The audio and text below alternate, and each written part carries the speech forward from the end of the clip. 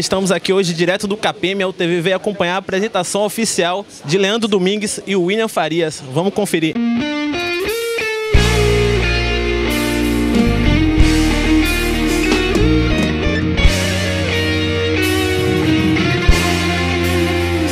A expectativa que o Vitória está gerando nesse começo de ano? A expectativa é imensa, estamos todos na expectativa que o elenco venha usufruir da dimensão do meio de campo do Vitória. Com as contratações de Leandro Domingues e William Farias aí. Boa sim. Leandro Domingues a gente já conhece, ele, o William Faria viu do time rival, mas aqui é tudo novo, tudo novo. É, né, pela volta de Leandro Domingues aí, é, depois de muitos anos que ele não veio, não jogou aqui pelo Vitória, ele fez muito quando ele esteja aqui. Eu nunca me esqueço aquele gol que ele fez no finalzinho contra o Grêmio, lá no Barradão. E estou muito feliz pela volta deles também.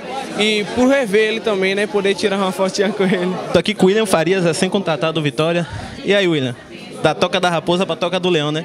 Qual é a sensação de estar aqui no Vitória e o que é que você pode prometer pra torcida? Ah, tô muito feliz, né? Fui bem recebido. Espero dar esse respaldo aí para a diretoria que confiou no meu trabalho. E para a torcida eu falo que empenho, dedicação nunca irão faltar.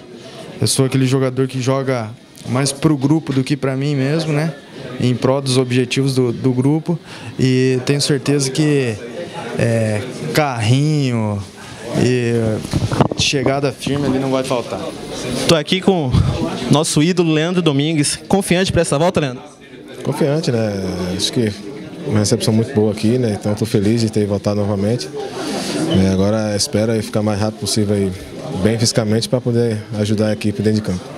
Pronto, estou aqui com o presidente Raimundo Vian. Seu Raimundo, a torcida pode esperar um bom ano para o Vitória em 2016? Com certeza absoluta. Nós estamos empenhados em fazer um grande time para ganharmos o campeonato estadual e buscar um título nacional com a Copa do Brasil o Campeonato Brasileiro. Nós não vamos brincar, pelo contrário, nós não, não nos subimos à toa. Nós subimos com competência e com muita determinação, que continua dobrado esse espírito para este ano de 2016.